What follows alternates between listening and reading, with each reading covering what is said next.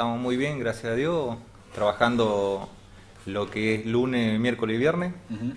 Es el tiempo que yo le puedo dedicar. Y, y bueno, agradeciendo a la, a la, gente que todos los días se acercan a dejar sus donaciones. La gente común, por lo que siempre estuvieron. ¿Cuántos, eh, ¿Cuántas personas, cuántas familias eh, están asistiendo hoy? Eh, hoy estamos asistiendo 30 familias. Estamos con un número de chicos anotados 140, pero por el tema del clima y de la distancia están viniendo 90. En un principio estaban los 140 sentados. Pero 90 esos tres días que estamos, 90 chicos ahí por día. ¿Hay vecinos en lista de espera o, están completos por el momento? No, lo que tengo este año es que hay mucha familia completa comiendo. Eh, donde antes no se veía, por ejemplo, antes era lo mío era los chicos. Los chicos y este año yo no puedo decir que no y bueno, eh, se ve la necesidad, así que se le brinda la, alimentación a, los, a los adultos también. Eh, seguramente lo, notan ustedes también, eh, bueno, el tema de los precios, de la falta de trabajo es la principal causa, me parece, ¿no? De, todo esto, seguramente vos tendrás un panorama un poquito más claro, Juan, de, de qué es lo que sucede cuando la gente llega al comedor y cuenta seguramente lo que le sucede. Es la falta de trabajo, es eh, yo por ahí lo veo desde mi comercio también, la falta de trabajo y la mezquindad, la mezquindad de, personas de la que tienen que ayudar, no ayudan, eh, por ahí discriminan a la gente o, no le da la, las herramientas que necesita esa persona. Creo que va, eh, vas a coincidir conmigo, Juan. el que más ayuda es el que menos tiene, ¿es así? Es así, siempre fue así siempre desde los ocho años que estoy con, con esta, este servicio, que no sé quién me lo puso, que siempre me río, digo, el de arriba me levanta, y cada vez que caigo eh, me levanta y sigo en la misma cuando, cuando quiero a veces largar todo, porque la gente es muy mala, ¿no? La gente que no aporta es la que más te critica y la que eh, te tira la, la moral abajo. El, eh, cuando digo el que, que, por ahí el que más tiene, uno uno a veces de acercarse al comedor y de ver cómo, cómo trabajan y cómo funciona, da la sensación que mucha gente de buen poder adquisitivo va y a veces lleva lo que le sobra, lo que no utiliza, lo que por ahí puede, puede conseguir de manera no, no que no le costó mucho conseguirla, digo, ¿no? me parece que esto también se ve se ve frecuentemente, ¿no? A ver, siempre, siempre viene bien lo que digo, uno ayuda, pero eh, muchas veces uno nota que también se hace desde cierto lugar de conveniencia, eh, no se hace desde el corazón, que uno por ahí lo, que nota en el comedor es esto, un clima de, compañerismo, de, gente que, tiene voluntad y ganas de ayudar. Sí, sí, tengo, ojo, tengo amigos comerciantes que están muy bien y, ayudan desde el anonimato, que me dice Juan, no, no agradezca nada y por ahí me da cosa porque estoy acostumbrado a agradecer siempre, porque hay que ser agradecido. Eh, tengo dueñas de estación de servicio, eh, dueñas de, locales grandes, que por ahí, si me escuchan, saben de qué estoy hablando de ellos, que, que donan de corazón. Sin ir más lejos, ayer fui a un local donde la señora me da tres mil pesos y, eh, para ayudar a una nena eh, para comprar pañales y esa señora lloraba. Eh, no, no, no, puede creer y me agradece de que pueda mostrar la, la realidad, ¿no? De, que uno publica cosas y muestra dónde están la, la, hay que ayudar. Así como el caso de, de esta nena que justamente pudimos conocer eh, en las redes en las últimas horas, hay muchos otros que no a los cuales no se puede llegar por una cuestión de, tiempo, de distancias, de, falta de recursos. Eh, ¿Hay muchos casos así también? Sí, sí, hay casos que por ahí he ayudado y no, no, he publicado. Ah, era para mí. Era para, era para sí, eh, por ahí no, no, he podido llegar, pero es por una falta de, de, tiempo mío, sino porque no puedo abandonar lo mío tampoco, que es mi gomería o, o mi familia. Eh, pero he mandado a otros amigos que lo sigan ayudando. ¿Fueron políticos ahora durante la campaña para, para buscar la foto, para mostrarse, para ayudar o en algunos casos seguramente también?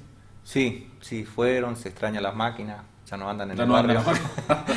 bueno, mucho vienen la las elecciones de intendente ahora. Eh, y bueno, puede ser que aparezcan de vuelta las máquinas, le digo a los vecinos que esperen. Por ahí el vecino se acerca, me dice, che, Juan, dice, habrá una posibilidad de conseguir máquina. En mi casa, en la cuadra no- donde vivo no se puede pasar, dejo el auto en la esquina. Eh, eh, casos así, por ejemplo. Y, no, y Eh, no es por acumulación de agua en muchos casos, es porque la calle no da para más, no se puede transitar. Eh, durante años no se pudo transitar. Hay calles que están prácticamente cerradas. Eh, por ahí ya me metiste en lo que es política. y- No, no, pero digo- No quiero hablar porque a veces soy muy duro en hablar las cosas y, y por ahí el, eh, se enoja más el militante que el político.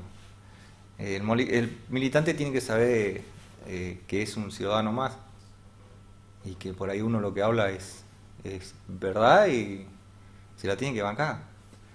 Eh, tienen que agarrar, por ejemplo, el que, el que está haciendo una, en- pensando en entrar en la política está pensando mal porque piensan en entrar y hacer su capital.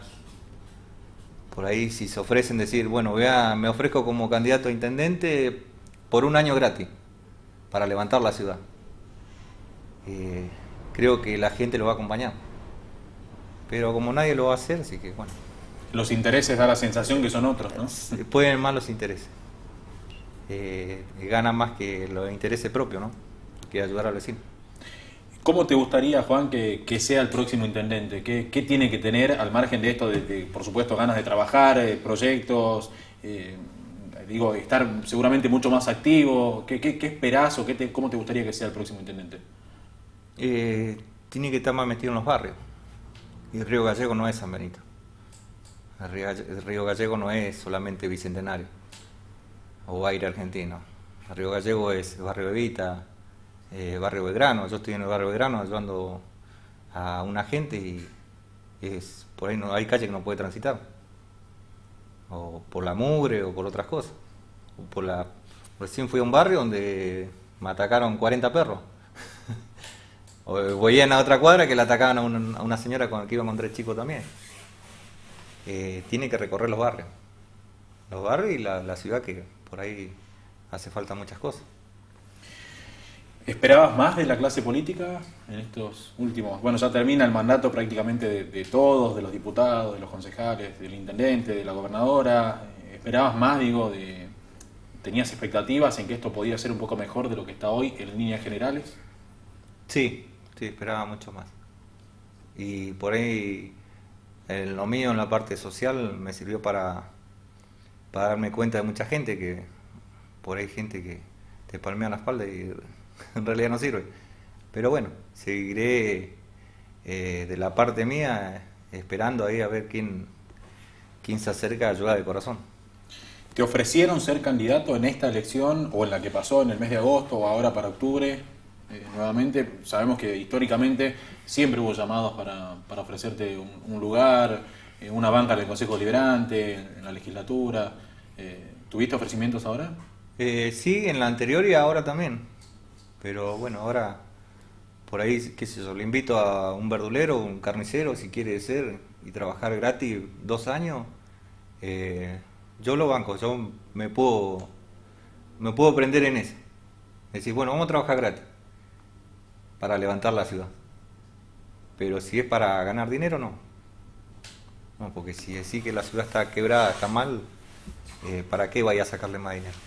Por ahí me equivoco, perdón por mi ignorancia. No, no, no, pero eh, que- es que es cierto, hay una clase política que mm, hace un ratito lo hablábamos casi con, con- con Pedro Mancilla, eh, una clase política que, bueno, está en líneas generales bien, si bien a todos nos golpea la inflación, los precios, hay una clase que tiene ciertos privilegios y que, bueno, uno piensa también en tiempos de crisis, eh, quizás debe pensar un poquito más en, aquel que la está pasando mal, porque hay mucha gente que, la está pasando mal. Eh, Uno recorre eh, habitualmente todo el sector de San Benito, Bicentenario, eh, y ve realmente la necesidad, chicos que no tienen eh, calzados.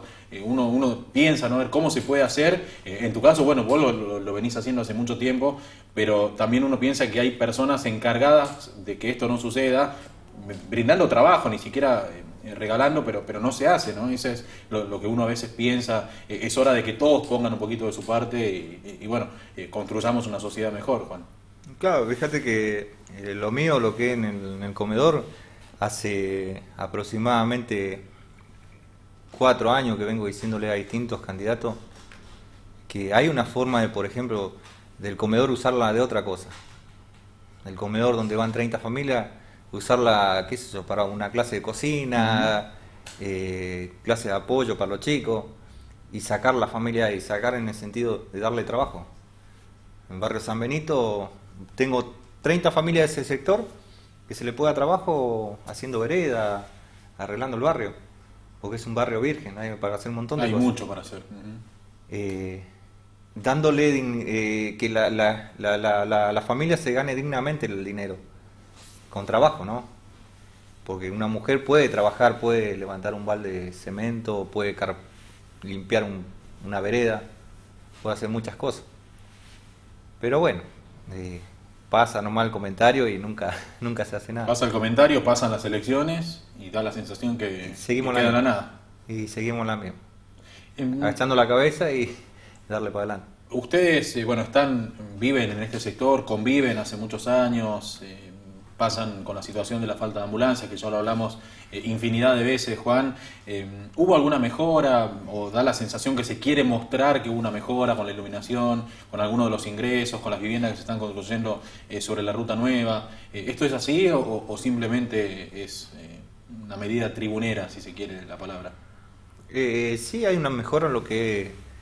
Porque te tengo que decir, vos sabés cómo soy. Te, te digo si, si está bien o está mal, porque vivo hace No, por más supuesto, de es que- 16 es que años. por, eso lo consulto, porque uno Eh, puede ir una vez sí. cada 15 días, una vez a la semana, una vez al mes, pero eh, digamos, eh, el que vive ahí sabe lo que, lo que está pasando. Sí, estamos un poco más tranquilos con el tema de la ambulancia, que, que sigue estando ahí en el cuartel de bomberos. Están con la asistencia las 24 horas. Que no sé, depende creo yo que de provincia. La, Del Ministerio de. Salud, sí, Está. Esa fue una lucha de años. de años. y no sé quién lo trajo, no importa, se lo agradezco. Se lo agradezco porque es una, una herramienta muy importante para el barrio. Eh, recuerdo cuando se hizo el intento de comprar, estuvimos ahí justamente de comprar una ambulancia entre los vecinos, bueno, una lucha que viene, pero... Que gracias a esa, eh, a esa publicación, bueno, apareció rápido el tema de esta ambulancia, que era que los vecinos estaban esperando siempre. Y después la vivienda, bueno, la vivienda no, no sé en qué quedará esa vivienda. Ojalá que así como empezaron, que se termine. que se entreguen. Y bueno, y que gracias a vivienda puede ser que aparezca un plan de cloaca, porque no sé dónde van a esa gotaza, esos pozos de todas esas viviendas, porque el San Benito no tiene cloaca. No tiene...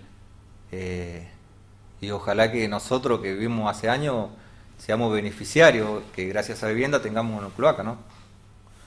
Y, y bueno, lo demás no te puedo decir otras cosas, porque siguen así y se, se están usando al barrio, ¿no?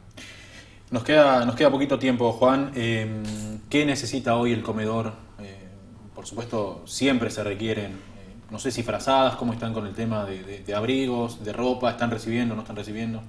Eh, no, estamos de ropa, sigue llevando la gente la que siempre está, Ujú.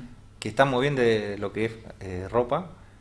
Los amigos del Rotary están juntando botas, que es para... Están con una campaña. Están sí. con una campaña por ahí a la gente que, que lo escucha, bueno, que se vayan y lo lleven al Rotary.